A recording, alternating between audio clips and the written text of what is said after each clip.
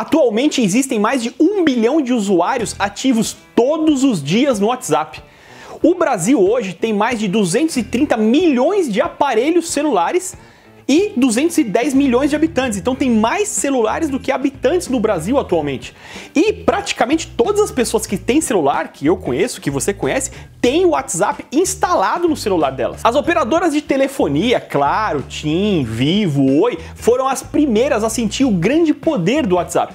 Se gente voltar 5 anos no tempo, você vai perceber que essas operadoras elas ganhavam muito dinheiro vendendo praticamente três coisas, que era plano de voz, SMS e plano de dados. Porém, atualmente as pessoas praticamente não usam plano de voz e plano de SMS. Você hoje usa o seu telefone praticamente para dados, para internet. Por quê? Porque o WhatsApp ele substituiu a forma como as pessoas se comunicam.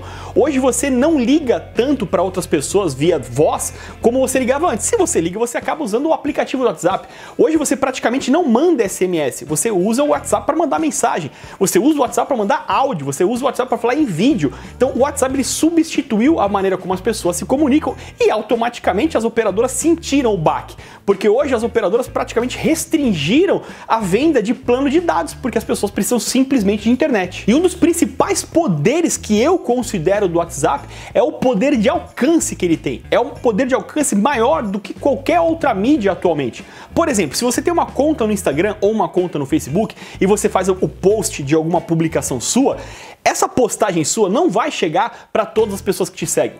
O algoritmo do Instagram, do Facebook, não vai mostrar o que você postou para todo mundo que te segue. Vai ser 2%, sei lá, ou até menos às vezes, ou um pouquinho mais, das pessoas que vão ver sua publicação.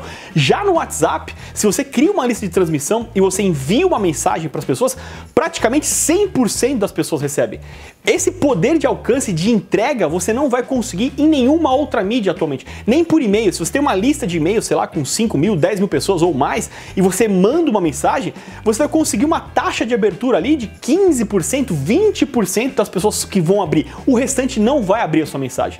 E o WhatsApp, ele é multimídia, você consegue mandar texto, você consegue mandar vídeo, você consegue mandar áudio, você consegue mandar PDF, né, arquivos. Então, o poder do WhatsApp hoje para você fazer negócio é imenso e você tem que aproveitar esse poder. Um primeiro grande passo para você começar a fazer vendas diárias usando o WhatsApp é você criar listas de transmissão. Quando você cria listas de transmissão, você consegue mandar a sua mensagem em massa, porém ela chega individualmente para cada pessoa. Então cada pessoa recebe como se fosse você mandando direto para ela e só para ela, mas quando você enviou, você enviou para várias pessoas ao mesmo tempo.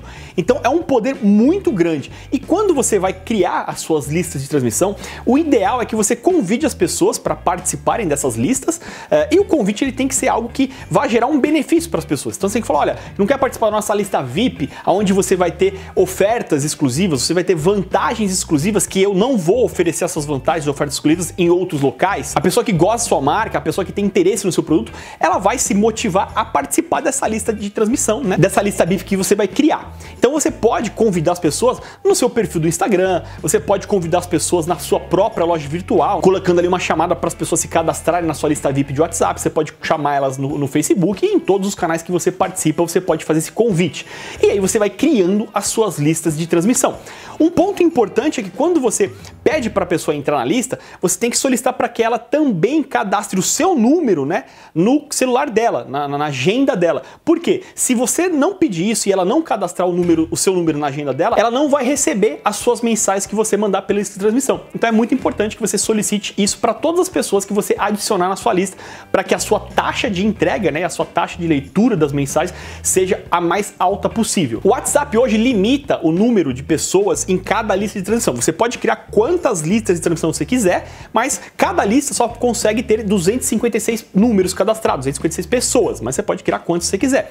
Hoje já existem softwares, né, ferramentas que automatizam isso. Ao invés de você ficar ali manualmente no seu celular fazendo todo o processo, hoje você consegue contratar algumas ferramentas que lá automaticamente ela já faz todo o trabalho para você. Se você quiser que eu deixe aqui depois uh, a indicação, né, eu passe algumas recomendações de ferramentas que façam isso, comenta aqui embaixo pedindo que aí eu gravo uma uma outra aula é, recomendando algumas ferramentas de automatização para WhatsApp. Então o ideal é você criar várias listas de transmissão, quanto mais pessoas melhor, porque quanto mais pessoas você conseguir falar diretamente, né, você vai conseguir a taxa de entrega quase que 100% com todas elas. E elas vão receber as mensagens como se estivessem recebendo única, né, exclusivamente, individualmente, melhor para você, melhor para comunicação e marketing do seu negócio.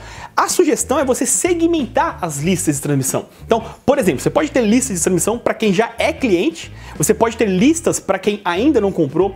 Dependendo do seu negócio, você pode segmentar por categoria de produto. Por exemplo, imagina que você tem um pet shop. Você pode ter lista de transmissão para quem tem gato. E aí, nessa lista, vai falar sobre produtos de gato, é, dicas para gato e uma outra lista para quem tem cachorro, para quem tem peixe, para quem tem outros animais. Não faz muito sentido você jogar todas as pessoas num único grupo e mandar, sei lá, dicas, produtos de gato para quem não tem gato. Então, quando você segmenta suas listas por assunto, por categoria, você é muito mais assertivo, você engaja muito mais e, consequentemente, o seu índice de sucesso nas ofertas, no que você publica, é muito maior também. Um alerta e um cuidado que você tem que tomar é para você não virar um spammer, começar a encher o saco da sua lista com um monte de oferta, um monte de informação que a pessoa não quer receber. Então você tem que criar uma estratégia, que é uma estratégia que a gente sugere que você faça em qualquer rede social, que é a estratégia do 80-20.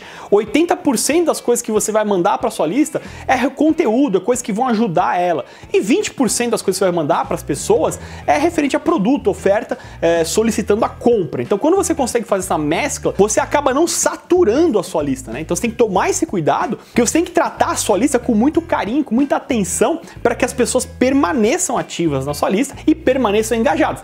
Então, não encher o saco, né? Não aborrecer, não saturar a lista é um cuidado que você tem que tomar desde o começo. E a estratégia de conteúdo é o que vai fazer você ter sucesso nisso. Por exemplo, tem uma aluna aqui da Universidade de E-Commerce que ela tem uma loja que ela vende tanto para atacado, né, quanto para varejo.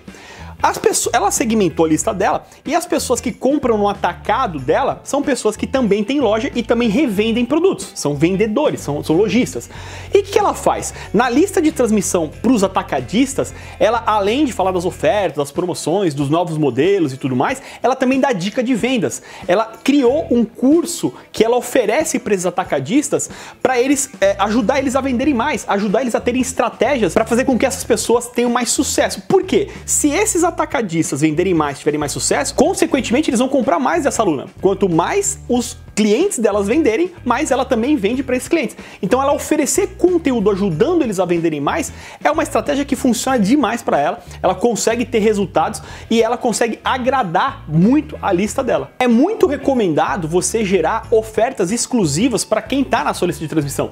Então você oferecer descontos só para quem está nessa lista, para essas pessoas se sentirem privilegiadas por fazerem parte dessa lista. É, você pode gerar algum tipo de escassez, né, para aumentar as vendas, dar um pico de vendas durante um período, como por exemplo Black Friday. Black Friday é uma ação que existe é, num período de tempo e ela gera uma escassez, porque se você não comprar até o dia tal, você não consegue ter benefício, acessar aquele benefício daquele desconto, né? Então você pode fazer ações, né, ofertas exclusivas para sua lista também. Você pode fazer pré-lançamentos de produtos para sua lista. Então imagina que você vai é, vender um novo produto, você trabalha com moda ou com qualquer segmento, você está pensando em ofertar, né, em divulgar um novo produto, você pode primeiro oferecer esse produto para sua lista e, inclusive, com uma condição exclusiva. Então você pode falar, olha pessoal, vai ser lançado o produto X esse produto vai ser lançado a partir do dia tal é, e ele vai custar, sei lá, 100 reais, um exemplo, só para colocar um número aqui. Porém, para vocês que são aqui, VIP e tal, a gente está fazendo um pré-lançamento, a gente está lançando antes, antecipadamente, e quem quiser comprar, a gente vai estar tá liberando isso até amanhã ou até sexta-feira, você vai pagar com 20%, com 30% a menos. E aí você já garante a sua compra. Se essas pessoas estiverem engajadas, se você tiver uma lista de transmissão realmente aquecida, você vai ter muito sucesso com esse pré-lançamento. E aí as pessoas que comprarem, né, que pagarem pelo produto para você, você pode usar inclusive esse valor que você recebeu para fazer a compra do produto. Então você recebe antes do seu cliente, antes até de ser comprado do seu fornecedor. Então você já vai conseguir é, monetizar, né, fazer um caixa com aquele pré-lançamento que você fez a venda antes de ter o produto, com o próprio dinheiro você consegue comprar o produto uh, eh, para você entregar para as pessoas e aí ter o estoque para vender para as outras pessoas. Então é uma estratégia que funciona bem desde que você tenha uma lista de transição realmente engajada e aquecida. E um ponto muito importante é que tudo que você faz ali no WhatsApp, né, você faça a pessoa também fechar a compra no próprio WhatsApp.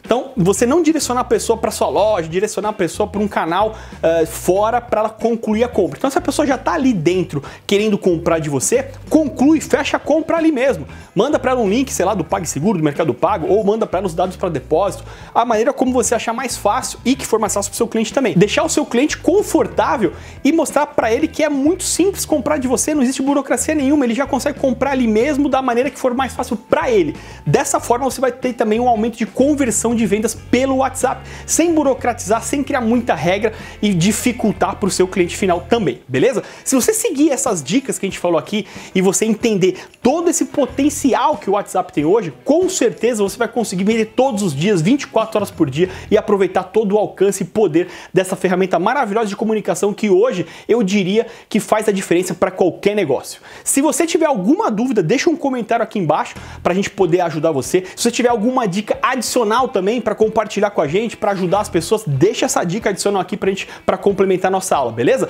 Espero que vocês tenham gostado dessa aula. Valeu, até a próxima aula.